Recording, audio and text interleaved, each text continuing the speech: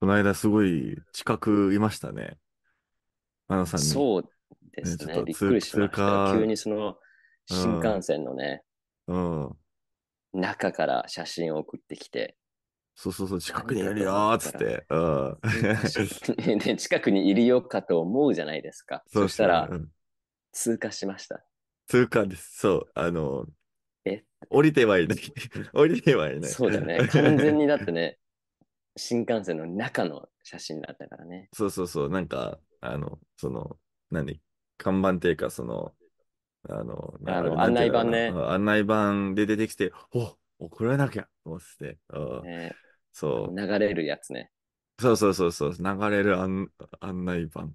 あのね、まあ、あの、ちょうど、あの、金曜日は有給取っうん。て3連休にして、あの。関西の方に、ちょっとあの、いろいろあ、旅をそういうことして、で、そはい。の、友達の家、あの、日曜日に、あの、泊まって、で、朝一うん。出てすぐ、新幹線、新幹線で帰って、すぐこう、うん。出社したみたいな、あったんで、あ、またその感じね。まあ、今回は、あの、はいその夜間バスはなしで、新幹線で行ったんで。一応、あの、ちゃんと寝れたっていうのがすごい良かったんですけど。結構関西行きますね。ああ、まあそんなになんか頻繁ではないんですけど、なんかどっか旅行するなら、ね。あ奈良行ってない。奈良は行ってない。いや、奈良行ったじゃん。吉野かなんか行ったじゃん。吉野だっけ？あの、ああ、あれか、あ寺、の、寺に行ってあ、るでしょ高野山ね。あ、そうそう、高野山、あ、そうそう、高高野山。野山。あ、はいはい。確かに行ってたね。あ、確かにわ忘れ何た。行ってない和歌山だからね。和歌山だからね。あ、和歌山か。和歌山ね。はいはい。そうそう、確かにね。それで言うと、確かに。まあ、あの、今回は、あの、淡路島へえ。を一日からの神戸はい、からのはい。京都はいを、まあ。一日ずつ行ってきて、はい。あの、淡路島に直接行ったんだ、じゃあ最初。そう、最初はもう、あ、それが目当てだったんですよ。あえ、何の、が？えっとね、あの、その音楽フェスあったんじゃないですか。あの、その自分が出、ははいはいはい。たフェス。はいはい。で、そこの運営側があ合うん。宿するって言ってて、でうん。そこはなんかあの、えー淡路島に住んでる、こう、うん。あの、裏方の一人が、あの、なんかいいゲストハウスしてるよ、みたいな、みんななんか淡路島来て。みたいな感。じで、あの、ホスうん。トして、うん。で、その、し運営側と、その、まあ、出店した人だったりとか、まあ、仲いい人とか、あの、参加した人を呼んで、まあ、い一緒にやりましょうみたいなうん。感じになってて、で、その、まあ、運営側が、まあ、メインになったんで、その、3日間多分ずっとこう、振り返りだったりとか、その、うん。まあ、交流とか、そういうこう、親睦を深めた、深めるためだったんですけど、その1日目はまあ普通に、あの、振り返りはせず、ただただこう、1日を楽しもうってなったんで、うん。じゃあ、あの、1日目ぐらいは行きたいなと自分は思ってて、うん。で、あの、それ金曜日だったんで、じゃあ土曜日、うん。日曜日は、まあ、せっかくいるんだったら、あうん。の、他のところでちょっと行って、行ってみたいなと思ってて、そのうん。近くにいる友達を、まあ、いろいろ連絡して、誰が空いてるかとかを見て、うん。結局、うん。あの、神戸一日とうん。京都うん。一日になったっていううん。流れだったんですけど、へそうっえ。ていうね、あの、めちゃくちゃいい3日間だったんですけど、あ、そそう、めっちゃ良かった、本当に。あの、めっちゃこう、濃かった、濃かったんですよね。やっぱ、もうずっとなんかやってもうね、なんか2週間ぐらいの出来事がもう全部そこに詰まってて、よかった。すごい、あの、う。すごいね、そ満。喫したんですよ、本当に。はいはい。はい。あー淡路島ね。行ったことあるんですか？淡路島。ないです。行きたいですよ。めっちゃ、あの、まあ、車がないとなかなか回りにくいんですけど、あの、玉ねぎがうまいんですよ。日本で最初にできた島って言われてるんですよ。そうですよね。作られた島なんですよ。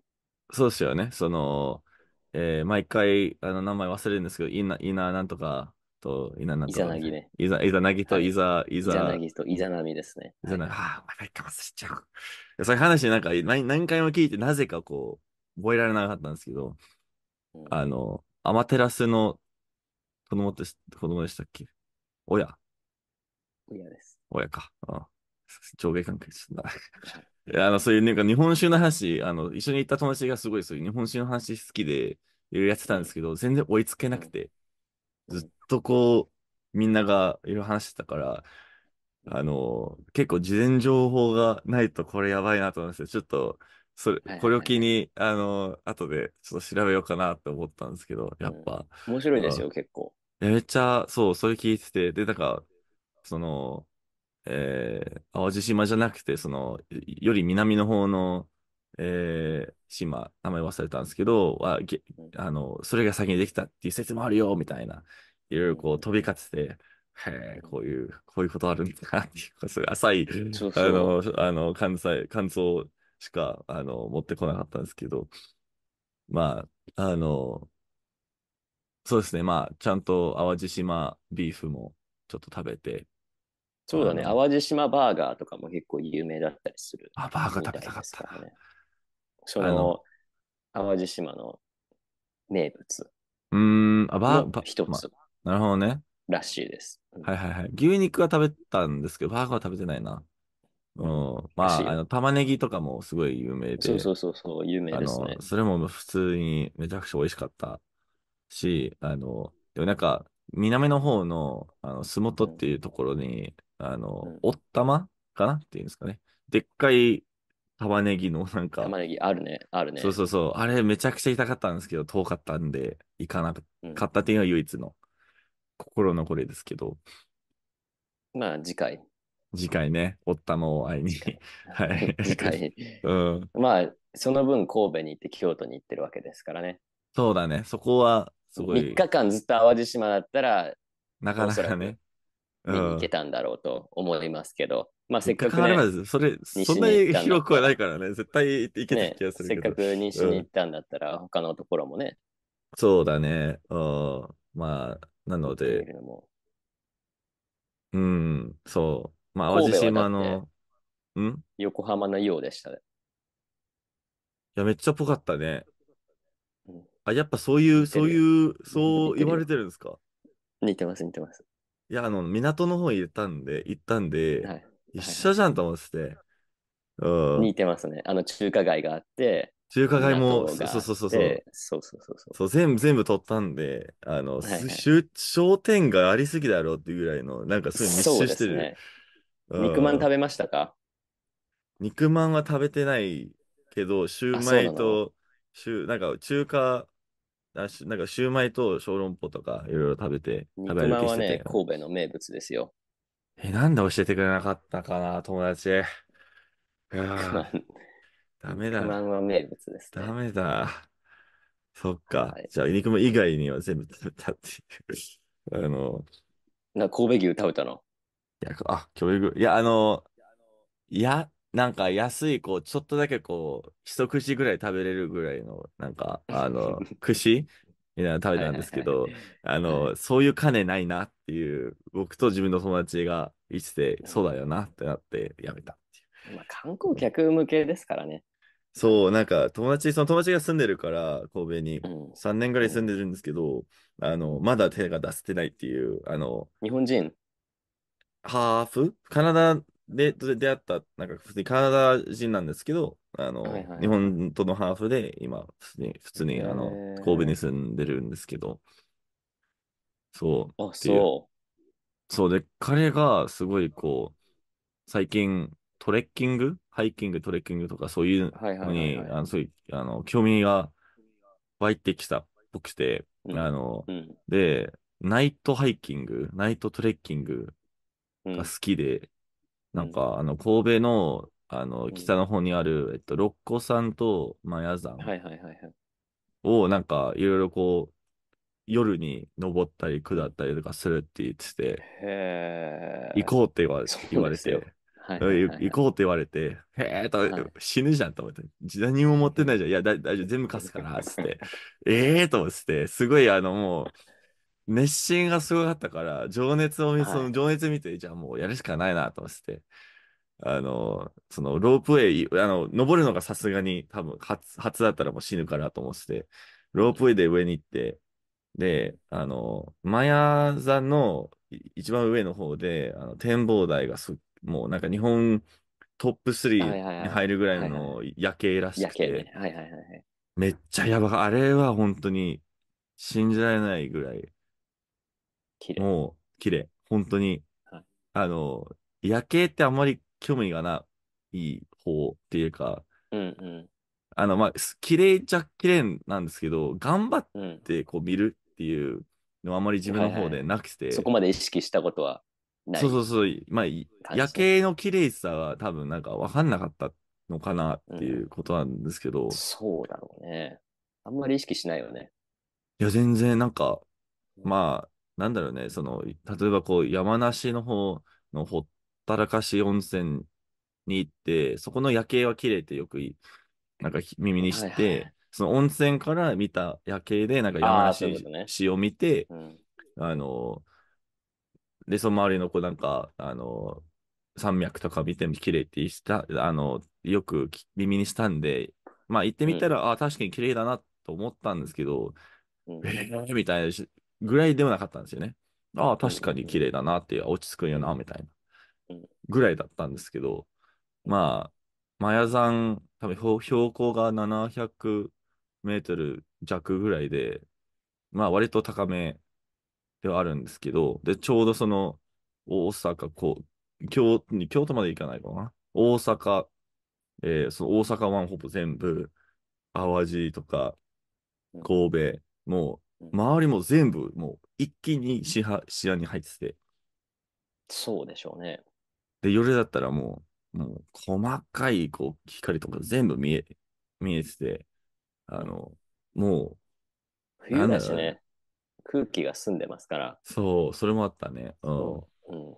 それ見せて、すごい、あの、日本三大夜景の一つですから。あ、そういうめ、め、め名所あるんだ。三大夜あのね、景。結構ね、三三大なんとかって好きなんですよね。あ、まあよく、なんかね国。この国。よく、よく聞くよ。確かに、確かに。この国三大なんとかって結構好きで、その日本三大夜景の一つが神戸なんですよね。ああ、なるほどね。まあ、もう、あの、それ納得いくぐらい、はい、納得いくぐらいき綺麗で、まあ、はいで、そこを見てから、あの、まあ、下ってうん、まあ、寄れだから、あの、で、他にも、他に全然誰もいなかったんで、歩いて？そう。上りがロープウェイで、下りが歩き。そう。だけど、あうの、わ。だけど、あの、マヤ山のロープウェイは、ぁうん。あの、工事中で、ろうん。六甲山のロープウェイ上で行って、で、歩きで六甲山からマヤ山1時間半ぐらい歩いてて、うわぁからの夜景見て、からの1時間ちょっとぐらいで下下るっていう歩きで。合計2時間そうだね。超えて2時ますね。2時間半ぐらいかな。まあ、全部含めて3時間ぐらいそう。大丈夫でした？足。足は、あの、嬉しいことに、あの、捻挫はせず、筋肉痛で済んだ。筋肉痛で済んだ。あの、信じ、今でも筋肉痛ぐらいの、でも筋肉っていうかもうなんか、あれ、あの、な、な、なんて言うんだっけ、あれ、あの、関関節痛みたいな。すごい、こう、もうぐるぐるぐるぐる、この、あ足首がすごい、こう、ね あるよね。なんか、なんか痛いよね。そう、あの、こんなに、あの、足首使うんだっていう、まあ、意識させられたぐらいですね。普段は全然思わないけど、あ、人生で一番足首使っ使ったかもしれない。絶対あの、もう多分折れる寸前だったんじゃないかなっていう。あーうんまあ2時間半はね、結構きついと思いますよ。しかも山道でしょ？そう、結構き、あの、整備は一応されてるっていうか、あの、あの、うん歩ける場所はちゃんとうん確保されれてるけど、その中、その、なんか、道の、その途中の、あの、まあ、綺麗さっていうと、まうん。うんあ、あの、色、こう、出っ張ってる、こう、石めちゃくちゃ、ね。もう適当な、こう、だね。あのーしかも夜だし、初めてだしね。こそうそう。っていうね。あの、う、ね、経験があればね、うん多。少こう緊張感っていうか、体のこわばりがないじゃないですか。でもこう、えちょっと大丈夫？これ？みたいなそうそう。感じでいくとね、まあ一応あの妙に力が入っちゃうじゃん。いや、あの、途中で予約ちょっとこう、正しい、こう、なんだろうね、あの、下り方？あの、そう、はい歩き方は分かってて、あの、そっ途から、中なんだ。まあ、最初はなんでこんなになんか、なんか危ない、危なく感じてずっと。これは正しくないなと思った、思うけど、なんかどうしたらいいんだろうっていう、まあ、試行錯誤でやって、何回も捻挫し、しなんか仕掛けて、あ、これ違うな。あ、これも違うな、みたいな。で、ようやくちょっと分かってきて。うんまあ、す、まあ、すごく有意、有意義な あのハイキングだったんですけど、あでもそすごいのね、うん思い出のうん、一番だね。もはや結構大きかったね。あの、まあ、怖か、怖くて死ぬかと思ったから、生きてよかったなっていうのが、あそっおち。そうだね。生き生きてる喜び？生きている喜び喜びと、その死ぬかと思った、あの中のえこ克服感が、生き残った。あ、そうそうそう、ちゃんと頑張ってこう。で、しかも、その、夜だから、で、周りに、その僕とその、その自分の友達しかいない、まあ、もう、暗闇で、あのうん、すごい怖いんですよ、いろいろ。しその、そうだろうね。こ そうんだなに。こんなに耳が敏感になると思わなかったぐらそいうの。ね。感覚が研ぎ澄まされるよね。そう、そう、その通り、本当に自分のズボンのシャカシャカで、なんか急にこう、子供の泣き声に聞こえられたりとか、なんか、なんか出てくる。るんじゃないかとか思うじゃないですか。すごい、本当に。うん。しかも、あの、その途中で、えーもう、もう、火事で亡くなった、えー神社？があって、へあの、今普通にこう空き地？だけど、まあ残ってるこう、あのー。う、んうんう残残骸っていうか、あの、名残はあるんですけど、ん。あるのね。はいはいはいはいはい。あの、それはそれでちょっと怖いんじゃないですか？あの、なんか神、そうだね。神社だけど、なんかもう、なくなってるし、なんか、うんなんかいるんじゃないかっていう、こう、そうだね。で、あと、めちゃくちゃもう、永遠に、あの、終わらないこう階段、その神社、もともと神社で使われたうん階段もあって、うんうん暗闇の中でもう、もう終わんないんじゃないかっていう、こ怖いね。確かに怖いね。う 上見てもずそっれは怖いねと階段だし、下見てもずっと階段だし、みたいな。うん、怖いね。こういう、こういうほ、このホラー映画見たことあるぞっていう。ねえだって山の中の人工物だからね。そう、すごい不思議なんですよね。ねえ本当にうん。しかもとか夜だからね、結構それは怖いと思うん、いろいろ、あ何でもあるでしょって思っちゃうじゃん。なんかこう別に何もないけどね。ないけど、ないけど、ないけど、もしかしたらって思うじゃないですか。え？そうそう、向こうから、わか、なんか、なんだろうね、全然ライトも使ってない他のハハイキングしてる人いたら絶対怖いよね、みたいな話したら、ええみたいな、こんなわけないでしょ、みたいな。どう、どうどう、なんかいろいろこう、最悪のば映えをい ずっとこう考え考えるよ、それは。ながらね、うん。はいなんかよくわかんないけん懸垂の、なんか、懸垂用に使う、使う、なんか使ってるようなこう筒のうんちょっとした、なんだろうね、仕組みが道中道中にあったり、うんなんかこれ誰が使ってんだろうみたいな。もう何もかもちょっと疑っちゃうっていうか、何見ても不思議、な体験だよね、そういうのはね。そう、っていうはあ。のが神戸だったね。濃いね、確かにね。すでに濃いね、なんか。その3時間だけでももう、もう、もう帰ろうかなっていうぐらいの、濃いねこれ十分かなっていう刺激が。うん。で、そのまま京都にいたの？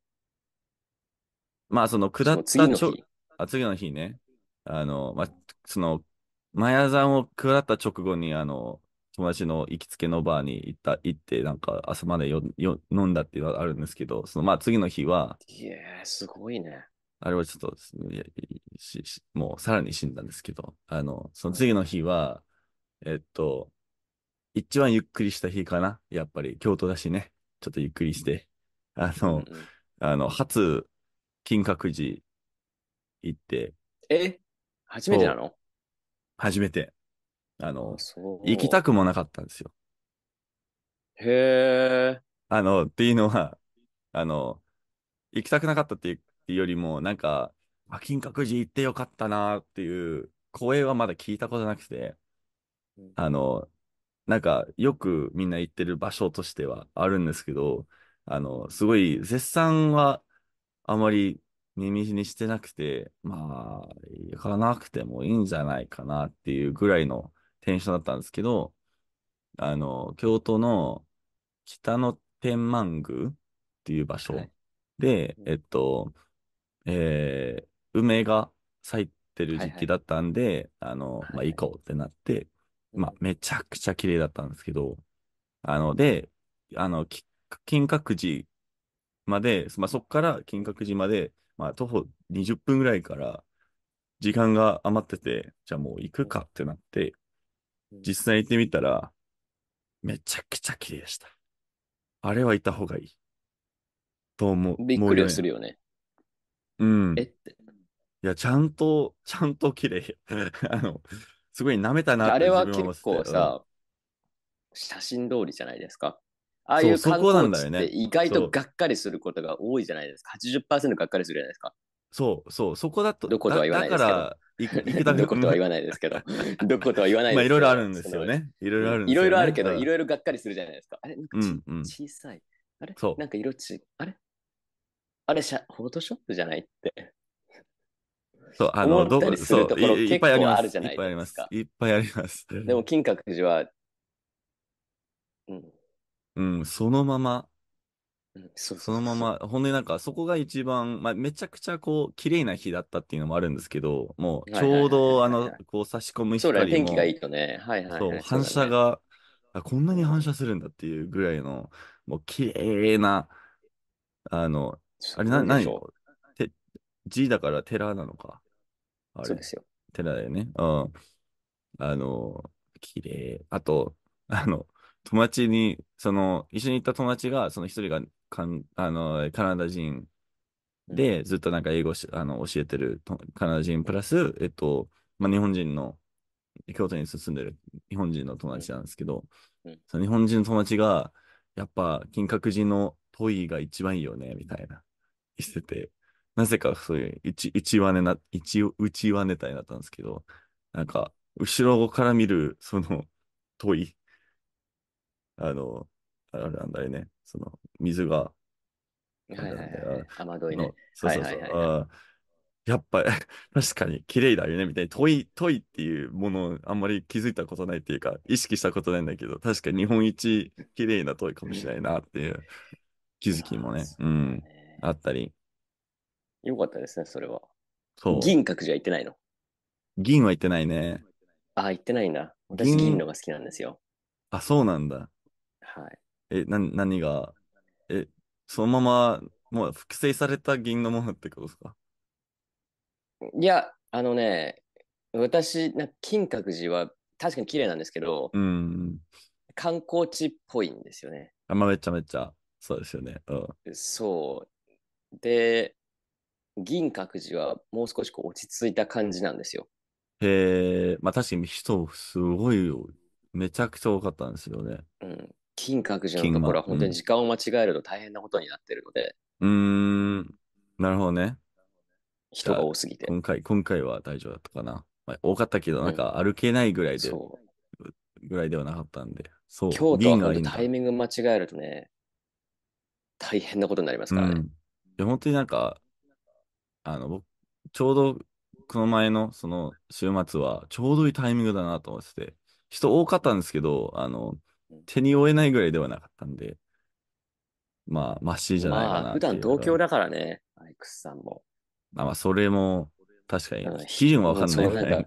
確かにね。許容できるさ、人数っていうのが結あ構あある。確かに。高いじゃないですか。それはあるかもしれない。確かうん慣れてるから慣れてるから、その、に。うん。でまあ、混んでるね、ぐらいのうん感じなんだけど、いやめちゃくちゃ人いるじゃんっていうあレベルなんだだけど、アレクさんにとっては、おまあ、普通じゃないみたいな。うん。いや、全然なんか、でも言っても、あの、どっかで写真撮ろうと思ったら、ちょっとだけ待ったら、あの、そのスペースが開くか、まあ人がちょっと待ってく、一瞬待ってくれるぐらいのうん人数。だからうん結構いい、いいんじゃないかなと思ったんだよね。その人が多すぎて絶対誰、一人ぐらいは待ってくれないから、もう誰も待ってくれないっていう、こう、あると思うんですけど、今回は全然、なんかまだそ秩秩序が 保たれるぐらいの人数だったんで、よかった。そう。京都はね、なんか観光地にするのは本当もったいないぐらい、こう、格式の高い神社とかうん寺とかたくさんあって、うーん。本当に、本当は京都伏見稲荷、伏見稲荷のはいはい。はいはいはい。非常に格式高いそうっすよね。ところなんですが、うん。観光スポットと化してしまっているので、まあ、そこはねまあ、すごいいいところだから、もうそうなっちゃうんですよね。で、その京都は、うん。そのそれぞれ日本全国にある神社の総本山の一番上ですね。おー神社にも種類があって、へえ、あ、るんそれぞれのその神社の種類の中の一番上へえ、そう、な、なん、なんのていうんだ。ところが、えいっぱいあるんですよ。一つじゃなああ、くてなるほどね。うん。伏見稲荷もそうなんですけど、あ、そのそうなんだ。稲荷神社っていうのが日本全国にあって、その中のその一番上っていう位置づけなんですよ。で、その他にも、この神社の一番上とか、この神社のこの一番上とかっていうのが京都に結構あって、あ、じゃあもう、あ、そうなるともう、京都が、そんなに、すごいですよそう、あの、観光客が、そんなに来る街としてはもう、認めざるを得ないですよね。元そ首都ですからんなに密集しね。て。まあ、確かに、それあそれはあるね。確かにね。うん京元首京都だもんね都ですから。ね。うんもともと、もともと日本の首都ですからね。たまに忘れちゃうけど、確かに、それは、それは、あの、なんだろうね、そそのぐらいの、こう、なんだろうね、あの、東京なんてたかだか原因にこう400年ぐらい、400年ぐらいですからね。あ、中400心になだけかってから。あ、そっか。その江戸にその将軍がうん。でもその時も1600年、1600年代ですから、あーなるほどね。じゃあ、割と、うんでも京都ってどのぐらい？戸城、江戸城があった時なんですけど、うん。でも京都にも御所があって、京都御所っていうところがあって、はいはいはい。だから、まあ、東京は歴史は、歴史で言ったらかなり浅いんですよ。なるほどね。なるほどね。うんで京都自体はどのぐらい首都だったんですかね？結構長い間？首都になってから、うん。いや、もともと日本が始まったところ、うん日。本が始まっ、最初にできた島は淡路島なんですけど、うん。その日本という国うん。ができたのは奈良なんですよ。あ、そっか。あ、そうなんだ。奈良。なんですよ。奈良なんだね。へえ。そう、その日本っていうその島はね、その淡路うん島が最初と言われてるんですけどね。うん。その最初の天皇と呼ばれてる人が日本を作ったうん。のが奈良なんですよ。へえ。奈良だったんだ。まあ、すだから、まあ結構、えー、その大仏だったりとか、こう、そこ。結構そういう、大仏、あじゃなくて、あ、そう、あ、そうなんだ。別のところです。はい。あ橿原神宮っていうところです。あ、そうなんだ。はい。あ、じゃあ、まあ、神宮にあるか。あの、そはいっか。橿原神宮。だから、その、建国記念日ね、その日本ができた記念日に、あの、その橿原神宮で、記念行事というか、うん。行われるんですね。えー、あ、そういう、こう、行、行、行式？はいはいはい、行事があるんですよ。あ、これ、言った、言ってないな。え、これ、奈良市？ではない橿。原市ですね。橿、あ、橿原市。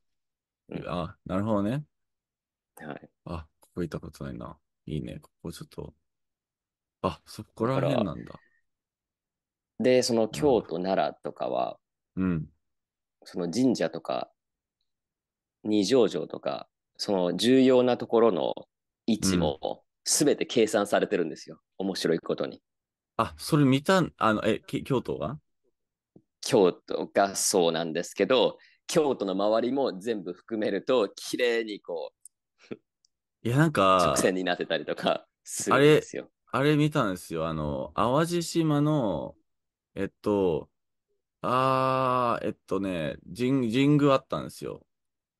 あ伊勢神神宮ね。そう、あ、そう、そこ行って、はいはい。で、そこで、そこが、えっと、なんか綺麗に、その他のもう日本全体の他の有名な神社と神宮とかもなんか綺麗に全部はい、そうなんそうなんですよ。八方でこうなんか繋がってるみたいな中心になってる面白いでしょ。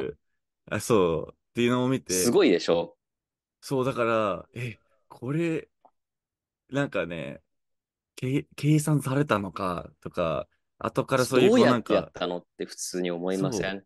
なんかピラミッド2000と、年以上前ですよ。ピラミッドとなんか同じようなもう謎ぐらいですよね。こう、え、はいどうやって計算されて、こうなんか、そうですよ。たまたまなのかとか、たまたまだったらどんな、な、な、は、どうやってなのかとか、もうわわけわかんなくて、あの、でしょ面白いなと思ったんですよね、すごい。うん。そこら辺ね、結構なんか YouTube にいろいろあって、調べると結構面白いですよ。へえ、って。いや、普通に良かったね。本当に。うんなので、奈良とか京都とかって、その、うん確かに今観光地なんですけど、その観光地として見るよりかは、こう、しっかりとこう文化がうん。根付いているというか、そのうん日本を知る上で非常に重要ないや、思いました、本当に。まあ、嬉しいことに、その、まあ、さっき言ってたように、あの、淡路島に行った、と一緒に行った、こう、その、仲間が、はい。まあ、そういう日本酒とか好きだったから、そうそうそう、はいはいはい詳しいから、一応、まあ、あの、全部わからなくても、一応、こう、ちょっとこう、そういう話を聞けたりとか、まあ、そもそもその神宮い行くっていう、あの、なんだろうね、すごい行きたかった人がほとんどだったんで、それも行けたし、多分自分だけだったら多分行こうとは、あその発想が来ないっていうのもあったかもしれないし、あーだから、うんまあ、それも濃いですね。そう。だからいろいろああったんですよ、本当にもうずっと。いすごいね。いろいろな種類の濃さですね。や、本当にそう、そう。だからもう、2週間ぐらいた経ったぐらいの感覚で、そうねすごかった、本当に。うんそれは確かにそうかもしれないね。うん。なので、まあ、みんないい週本当にね末でしたね、じゃあ。そうですね。で、そあそれその最後に、マナさんのね、す住んでる場所を通過できてうん、いい締めとしてありました。いや、来るときに通ってるでしょ。2回通ってるでしょ。いや、でも、締めとしては一番実感するよね、やっぱり。始まりと終わりね。